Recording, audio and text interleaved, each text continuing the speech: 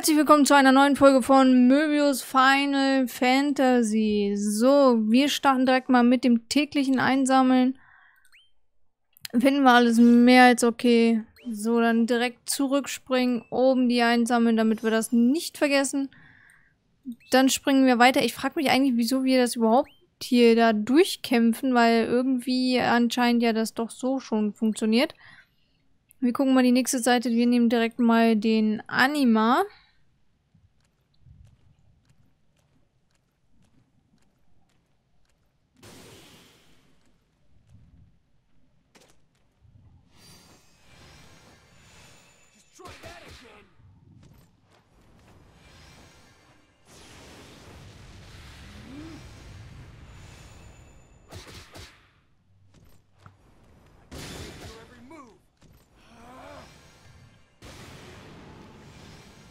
Ja, was soll ich großartig sagen? Sechs Runden. Die erste haben wir schon geschafft. Also auf in die zweite.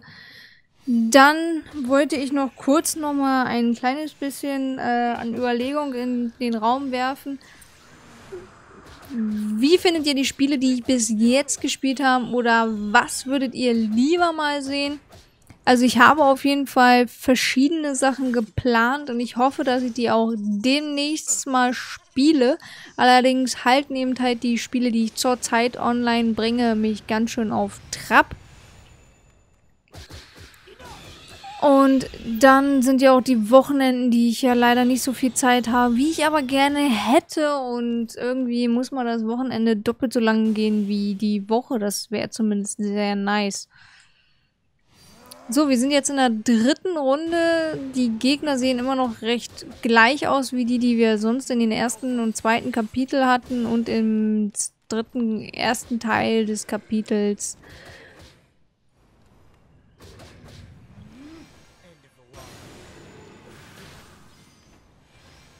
Ich habe überlegt,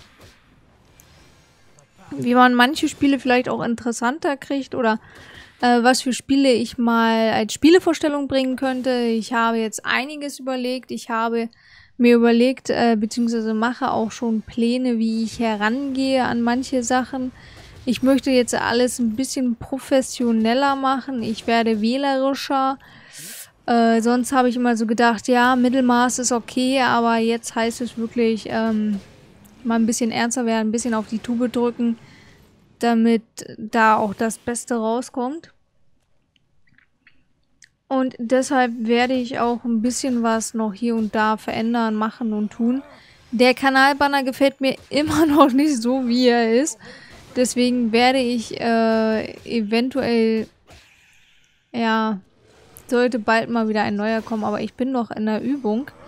Aber zurzeit, ich kann einfach nicht alles gleichzeitig, deswegen so, sobald mir was einfällt, was ich machen könnte oder so, wird äh, dorthin zukommen. Ansonsten bleibt das erstmal so, wie es ist.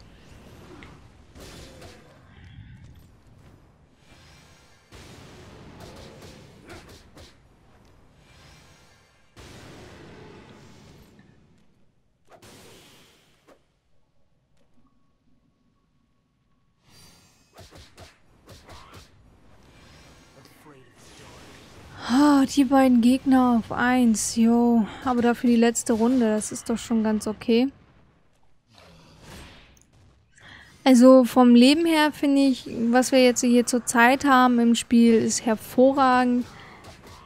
Die Karten bin ich auch sehr zufrieden mit. Äh, allerdings könnten die natürlich noch ein bisschen weiter leveln, ist klar. Diese Jobkarte werde ich auf jeden Fall als meine Lieblingsjobkarte weiterhin so behalten, wie sie ist.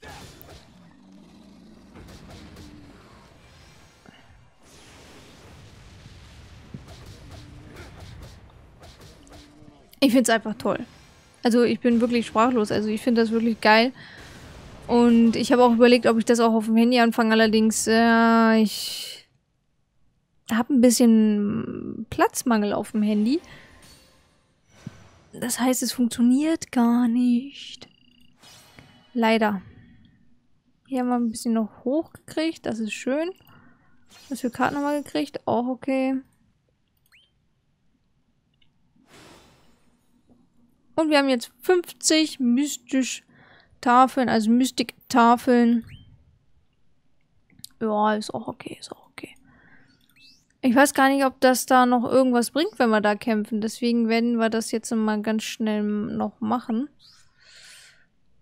Mm, ich wünschte, ich könnte vorspulen, beziehungsweise im Spiel selber da bestimmen, schaffe ich es oder nicht. Sollte mir eine Prozentzahl sagen, ja oder nein. Und also 70 Prozent oder so, dann würde ich glatt äh, den sofort fertig machen, den Kampf. Aber so eine Option gibt es leider nicht. Wir haben jetzt sieben Runden. Die zweite Runde hat angefangen. Eine Karte haben wir schon. Das ist ja schon mal nicht schlecht. Da haben wir die zweite Karte. Das ist ja auch sehr, sehr gut.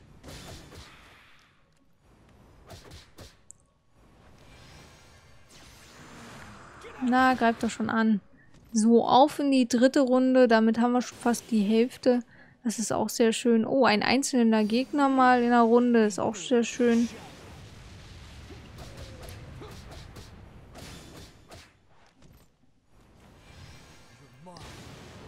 Äh, die hellblauen Hörner, also die, diese blauen Hörner, die gefallen mir richtig gut. Die sehen da richtig gut gerade aus. Mal was anderes als ständig immer dieses Rot. Jetzt sehen die grün aus. Also es ist jetzt ein neuer Gegner, ist neue Runde, jetzt ist die vierte Runde. Und jetzt sehen die ein bisschen grünlich aus. Ja, die sind grün. Eben waren sie blau, jetzt sind sie grün.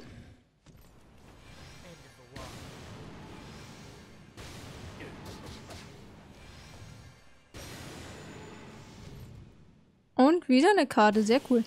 Auf in die nächste Runde, das ist der Wahnsinn. Und wieder regiert das Grün.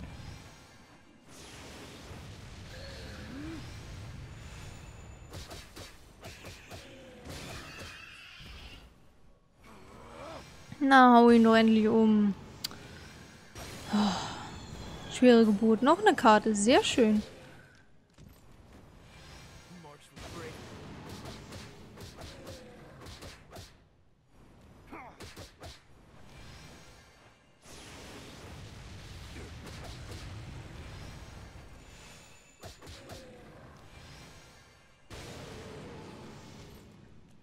Na, da haben wir ihn schon. So, die vorletzte Runde. Oh, zwei Dinge. Eieiei.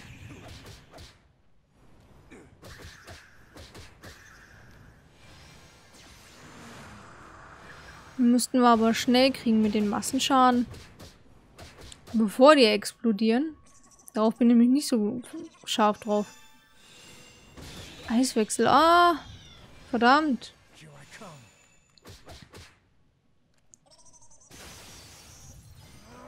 Also Eiswechsel war echt jetzt eine fiese Attacke. Wow, das hat's gebracht. Guckt euch oben meine Leiste an, das ist alles voll. Geil.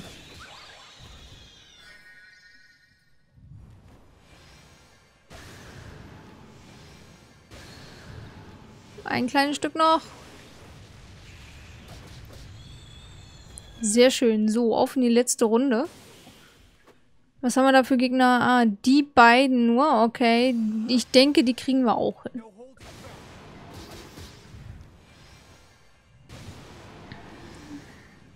Der Charakter ist einfach schon super. Ich liebe meinen echt. Also, wenn es nach mir ginge, würde ich von morgens bis abends nur dieses Spiel spielen und nebenbei so, ja gut, Hero Zero und Shakes und Fidget weitermachen. Das ist klar. Ohne die beiden erlebe ich selten einen Tag. Also, irgendwie jeden Tag Shakes and Fidget und Hero Zero gleichzeitig am Spielen. Das ist schon sehr herausfordernd. Aber ich mache das ganz gern. In Hero Zero will ich auf jeden Fall Level 400 schaffen. Das ist jetzt so mein Ziel. Und in Shakes and Fidget muss ich sagen, ich weiß es nicht. Irgendetwas. Irgendwie. Fünf Karten, sehr schön.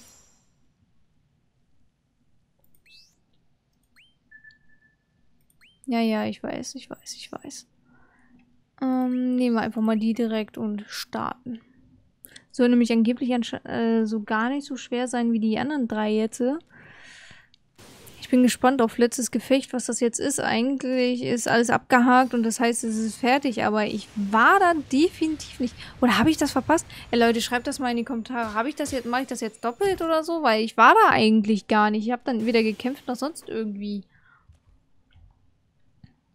Vielleicht ist das auch ein Anzeigefehler. Jetzt das noch herauszufinden, ist, glaube ich, zu spät, weil äh, ich ja irgendwie ja jetzt schon da bin und kämpfe, ne? So, irgendwie. Wow, das war schon die zweite Runde. Jetzt sind wir schon in der dritten von fünf. Jetzt haben wir noch die drei Gegner hier. Waren noch drei, ne? Nee, waren mehr. Fünf. Ja, jetzt, jetzt noch einer, entschuldigt. Jetzt ist noch einer mit wieder richtig grünen Hörnern. Es sind immer vier Hörner, das ist immer ganz interessant.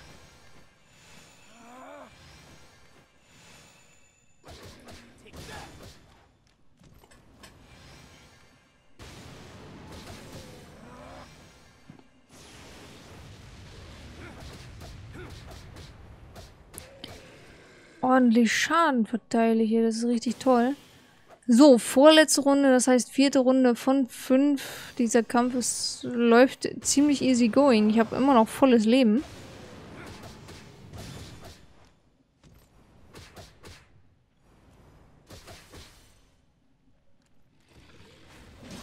Ah, jetzt kriege ich mal endlich was auf den Deckel.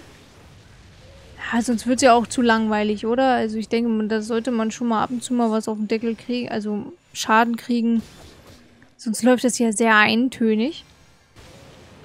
Ich bin gespannt, wie es im nächsten Kapitel bzw. in den nächsten großen Kämpfen aussieht. Ich bezweifle, dass es ein gro also krass schwerer wird. Also ich denke mal, im fünften Kapitel könnte es interessant werden, aber im vierten sollten wir auch noch gut durchkommen.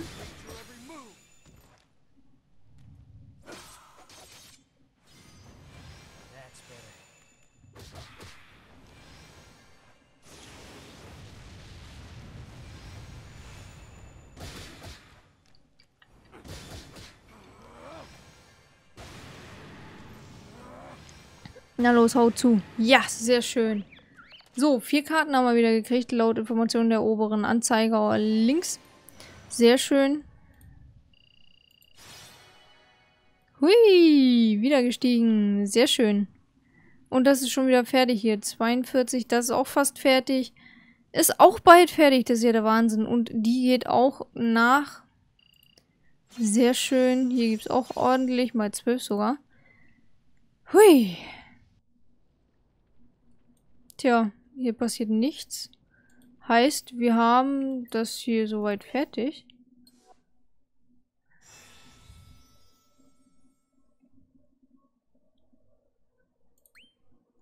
Es findet ein Turnier statt, bei dem Blanks weiter wetteifern und ihre Stärke unter Beweis stellen können, doch bemerke niemand die schleichenden Schatten, die die Arena ins Chaos stürzen wollen. Dies ist ein spezielles Ranglisten-Event. Kämpfe in jedem Jobturnier um die meisten Siege. Ranglisten, bla bla bla. Eventzeitdauer vom 15. Juni bis 12. Juli. Ja. Danke, da bin ich nicht so scharf drauf. Vielmehr möchte ich jetzt herausfinden, wie wir jetzt so weitermachen können. Das ist angeblich noch gar nicht beendet. Wie jetzt? Okay. Äh.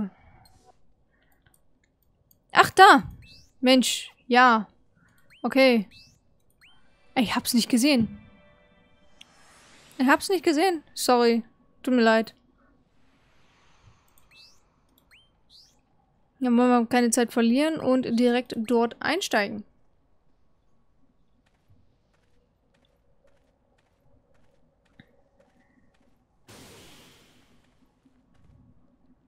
Gut, wir haben fünf Runden. Wir haben leichte Gegner in der ersten Runde. Die kriegen wir super schnell weg, da bin ich mir sicher.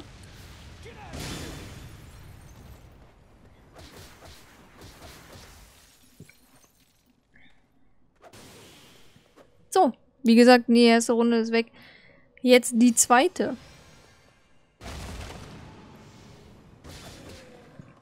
Einmal noch zuhauen. Komm, Wunderbar. Jetzt haben wir schon die Hälfte geschafft. Jetzt noch die eben umhauen. Geht schnell, was? gefällt mir richtig gut.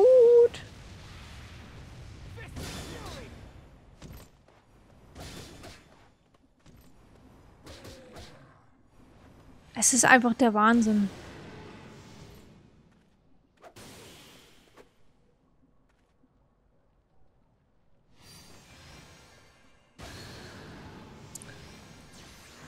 Ein kleines bisschen haben wir noch. Vorletzte Runde. Und da haben wir ein Item bekommen. Sehr cool. Ich glaube, diese Folge ist das jetzt das erste Item, ne? Also ich krieg die nicht ganz so oft. Oh, wir haben auch noch gar keine Karte.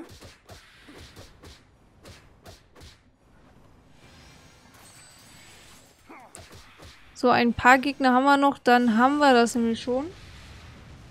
Das ist sehr, sehr gut. Ich bin gespannt, was dann in dem hinteren Tor da passiert. Wir haben, glaube ich, gerade noch ein Item bekommen. Das ist ja Hammer. Was geht denn hier gerade ab?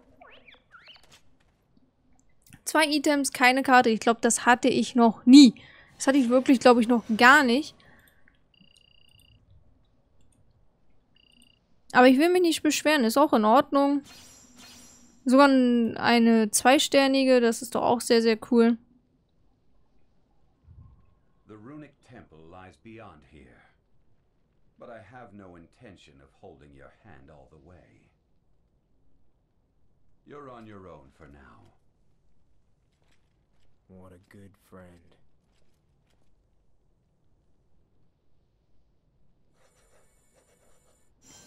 Genau, welch guter Freund. Wir gehen natürlich direkt weiter und nehmen Cloud hier und werden gucken, dass wir den nächsten Kampf auch locker schaffen. Wir haben wieder fünf Kampfrunden, so wie es aussieht. Und in der ersten haben wir, ja, recht leicht die Gegner, würde ich sagen. Ein paar Schläge und die sind auch weg.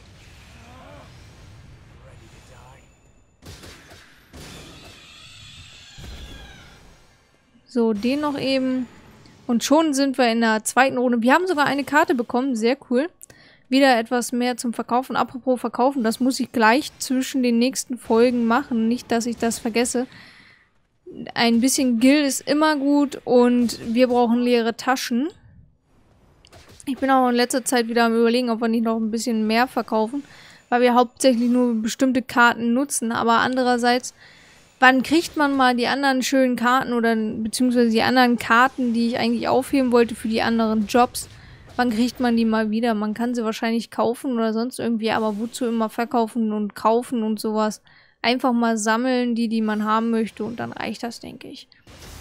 Ich habe nämlich eigentlich immer einen Sammelwahn. Ich möchte eigentlich immer alle einmal haben. Also in vielen Spielen ist das zumindest so, dass ich die Items immer gerne haben möchte. Aber das geht hier natürlich nicht, sonst müsste ich Echtgeld zahlen, damit ich die Ingame-Währung bekomme. Aber die Ingame-Währung kann man nach und nach selber ja auch bekommen. Je nachdem, wie lange man wartet. Man muss halt ein bisschen Geduld haben, dann klappt das schon. So, auf in die letzte Runde. Drei Gegner, wenn ich das richtig gesehen habe. Der erste auch schon im Schock. Sehr schön. Mit einer Karte, die er uns gegeben hat. Das freut mich richtig. So, jetzt den nächsten. Den haben wir auch weg.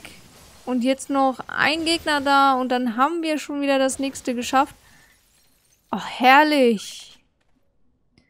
Zwei Karten, kein Item. Boah, es geht. Ich hätte schon gern Items, aber... Was soll's.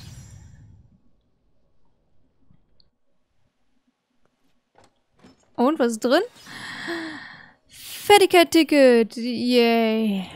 Care to hear some rather depressing words? Do I have a choice? Those blanks have no hope of defeating chaos. Already, their fates are sealed. Yet even so, they gladly rush into battle to oppose him. Why do you think that is? It is because they have seen hope. The honor of death in battle. They seek salvation in some small semblance of that glory. When despair reaches its greatest heights, people will die in the name of hope. Think of it. That moment when all falls to despair. Think of Sarah's despair, should she discover you are not the one. Should she discover her fated beloved was not to be you. Oh, When people are deceived by hope, they will die in the name of despair. What are you saying? Go now if you wish. I long for a warrior of light to come to this world, but I do not long for it to be you. I feel no light emanating from you. Perhaps you would do well to think on this. Live as one among many nameless blanks, clutching to some small speck of hope. Or spurn that herd existence and seek instead to die the most glorious of deaths in battle. Ja, das ist doch mal ein Gespräch gewesen zwischen Leuten. Was soll man da groß ehrlich gesagt sagen? Das ist der Wahnsinn gerade. Ähm, entweder wir machen weiter oder wir hören auf, aber natürlich, äh, wenn wir weiter das Spiel spielen wollen, dann müssen wir einfach weiter. Es gibt gar keine andere Wahl. Und wir sind der Krieger des Lichts, da bin ich überzeugt, aber ich bin nicht überzeugt, dass es tatsächlich eine Prophezeiung gibt, dass es irgendein Blödsinn, was die Leute sich da ausgedacht haben. Und dieser Fox, das ist auch immer so fraglich, wann der immer mal auftaucht. Das finde ich auch sehr, sehr komisch. Aber das finden wir alles in der nächsten Folge heraus, was mit diesem Runentempel jetzt so weitergeht, wie viele Etagen es hat und dann gehen wir ins nächste Kapitel wahrscheinlich. Wir sehen uns dann. Macht's gut. Tschüss.